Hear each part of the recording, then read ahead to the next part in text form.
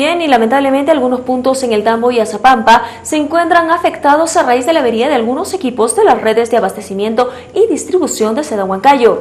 Esto tras la intensa descarga eléctrica que afectó dichos equipos.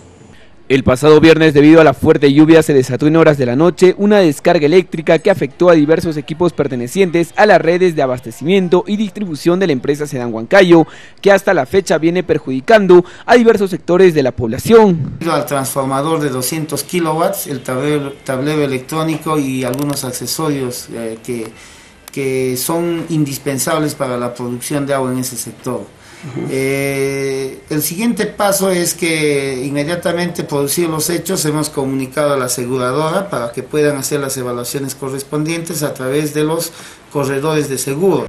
Según el gerente general de la empresa Sedan Huancayo, Luis Pérez Peralta, el costo de la reparación de los equipos asciende a más de 150 mil nuevos soles, monto que será cubierto por la aseguradora, pero mientras tanto manifestó que zonas como la estación de Umuto, Parque Tupacamaru, caseta de rebombeo de Azapampa y la estación de Azapampa estarán trabajando parcialmente, al menos por 10 días, tiempo estimado para solucionar estos problemas. Sí, hay dificultades en algunos puntos, eh, estamos eh, suministrando agua con, con este, camiones cisternas, pero no es suficiente.